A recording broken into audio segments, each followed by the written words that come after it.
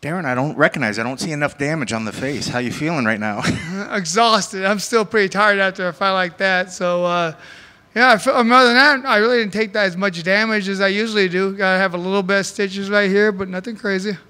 What was the game plan for him coming in tonight? I think we, we usually know that you, you like to walk forward, throw hands, and, and see what happens. But did you have a particular game plan for him coming in tonight? Yeah, I mean, I knew that we're going to end up in these scrambles. I knew that he liked to go um, Kimura traps from the from the uh, full from the guard. So anytime I was in the guard, I had to keep my head in the center. Um, I knew he would go for some of these guillotines. I knew if he went for them, I could probably end up on top of it and then move my feet, go lateral back and forth, and uh, keep my defense high because he swings those wild overhand rights and hooks. So I was ready for those.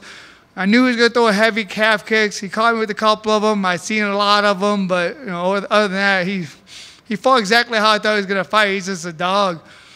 You, you, mentioned the guillotines. I think that first guillotine that he was able to get you in, I think you caught him before that he got you into that. So he immediately started having some blood. When you first, uh, when you see blood like that, is your first inclination is that mine or his? That's exactly what I thought. I, I look on the mat and I see seeing a lot of blood. I'm like, man, I don't remember getting hit. I guess I'm bleeding. And then I looked, I'm like, oh, he's bleeding. That's a change. Usually I'm the one bleeding everywhere, but this time he was the one bleeding.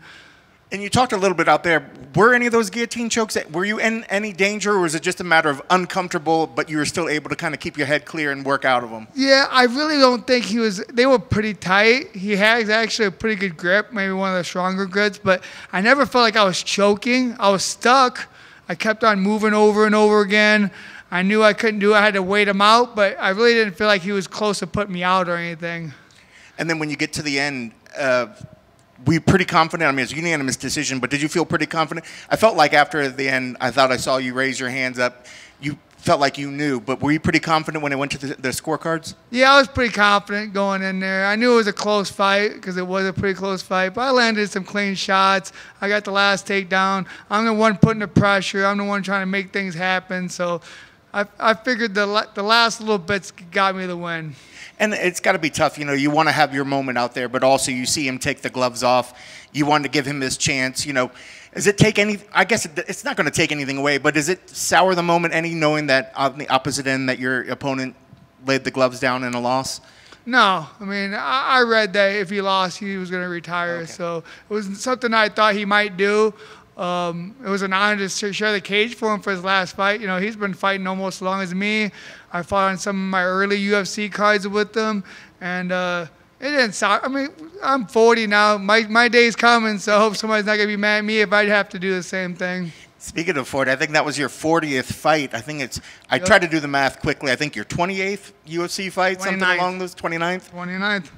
It's unbelievable. I mean, I'm, I know we've asked you this before, but when you when you think back to when you started, would you ever did you ever think that you would see this number of UFC fights when you know how hard it is to stay in an organization like this? Did you ever think you would get to the 29, let alone still look like you got many more in you?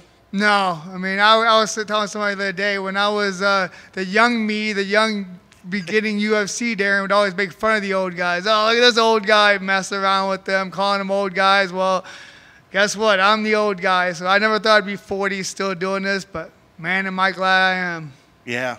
Well, I mean, I won't ask when when you're done because obviously it doesn't look like you're anytime soon. But is the amount of fights a year now more the key just to see how your body feels, or do you have a certain number? Is it like two fights a year? I mean, what's the, is there is there a certain sweet spot for you? I don't like to go any more than two. Yeah. I mean, I had one last year, one this year last year I got hurt. This year I got hurt. So I mean, which is fine. You know, both times I felt like I came back and my body's recovered. So yeah. one to two fights. I shoot for two, but if I don't get two, one's okay too now in my life. Now I don't have to be the guy who's fighting every week anymore. Yeah, you've done you've done your work. That's for sure. Yes. I mean, like you said, you're 40. You, have got 29 fights in there. Are you still learning new things, or is it just a matter of just staying at a high level? But when you go into camp and when you're with these young guys and you're rolling around, you're doing things, you still feel like you're picking up new tricks that you can still show in there? A hundred percent. I mean, I work with Joey. I work with my coach Chris Holdsworth. I work with Danny Castillo.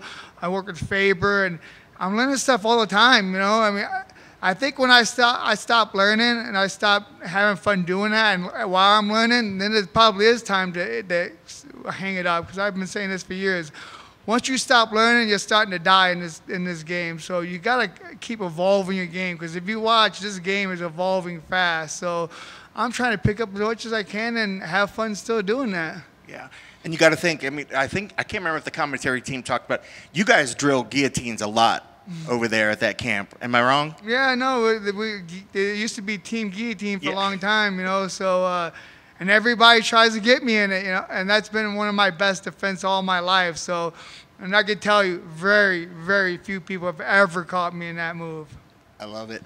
So, like you said, um, do you give yourself some time to sort of rest and recover from this? You know, you know, bask in the win, or are you back in the gym on Monday? Mm, I'll take a week off, maybe two. Um, I'll still stay working out. I'll stay on the diet.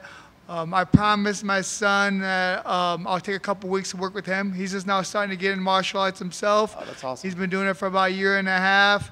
And uh, when I'm in camp, I can't really work with him as much because I'm focused on me. But I was like, you know what? After this fight, we'll just take a step back and we're going to work with his boxing, work with his uh, wrestling, work with his jujitsu, and just, you know, focus on the next generation. And I'm, I've been saying this for years that if my kids don't do the fighting stuff, I'm walking away from it. I really wouldn't. I really didn't want to be a coach. Yeah. But if they stick around, I'm sticking around. So it looks like I'll probably be sticking around for a while. That's awesome. And he's definitely so the whole MMA thing. He's not just picking in one particular discipline. You're, you're, No. he's running the whole game. He wants it all. He wants to be a fighter. That's his new goal. Is he wants to be a UFC fighter. He watches fights. He studies fights.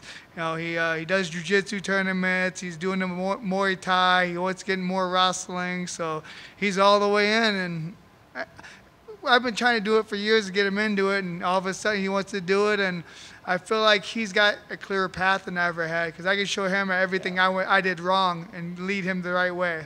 Well, you kind of answered the question. I wondered. I was going to say, does that make you proud, Dad, that he's following in your footsteps, or was there ever any hesitancy to have him get it? But it sounds like this is something that you were hoping that he has had as a possibility. I mean, you always it's good. I, I'd be I'm gonna be nerve wracking watching him do this stuff. You want to watch him do jujitsu, but I've got he's got a path that most people don't have, right? Like I've got the name, I know the people, we got the coaches.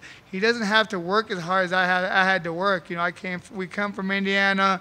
I had a small gym. I was one of the only big name guys from the area. He got it all right where we're at. And, and you got to think, coming for say, say he starts competing, say he's near his full fight, his first fight. Are you going to be more nervous watching one of his fights for than as for whatever you maybe felt before you walked into a fight? Always, you know. I mean, I get real nervous walking out. You know, I'm just like you said, this is my 40th fight, 29th UFC fight, but I still get nervous. But I have control of it, though. I control what happens in there. I control what I do. Watching him, I can only hope and pray. You know, coach and yell. That's awesome. Congrats on the victory. It's always fun watching you go in there. Thank you.